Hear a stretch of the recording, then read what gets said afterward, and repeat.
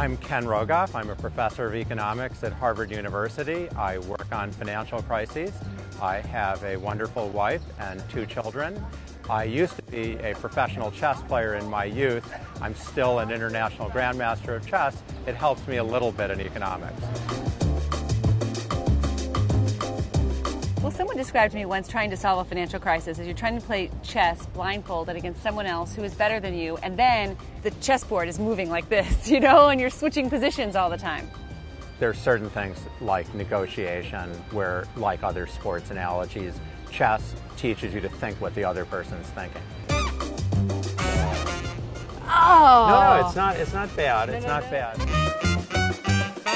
Let's talk about right now trying to solve a financial crisis. Sometimes you're making a move out of desperation just to stay in the game, and sometimes you're making a move for strategy. Sometimes it's like what we call a force move. If you don't do this, it's checkmate. It's over. In the heat of a financial crisis, when there were things that just had to be done, the banking system's falling apart, it's clear you have to back the banks to some That's a extent. force move. Monetary policy has to loosen up. And in, in some ways, if you look at America today, you know, we don't just need to react to the immediate course moves. You can't do that again and again and again. We need a, a longer term strategic vision.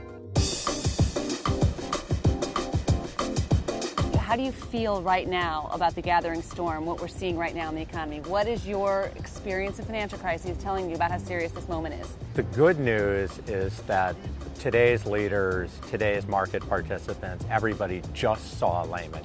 Most of them lived through it. They don't need to be told again what Right. could happen. The bad news is we are at a, a precarious moment where growth is likely to be much slower, and at the same time, we hope that it won't be a collapse. But it's a very risky moment with what's going on in Europe.